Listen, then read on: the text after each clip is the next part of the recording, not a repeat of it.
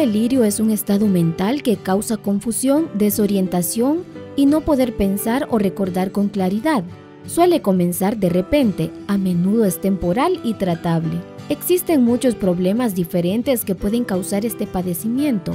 Algunas de las causas más comunes son demencia, hospitalización, especialmente en cuidados intensivos, infecciones, medicamentos que podrían ser un efecto secundario como sedantes u opioides, privación del sueño por mencionar algunas.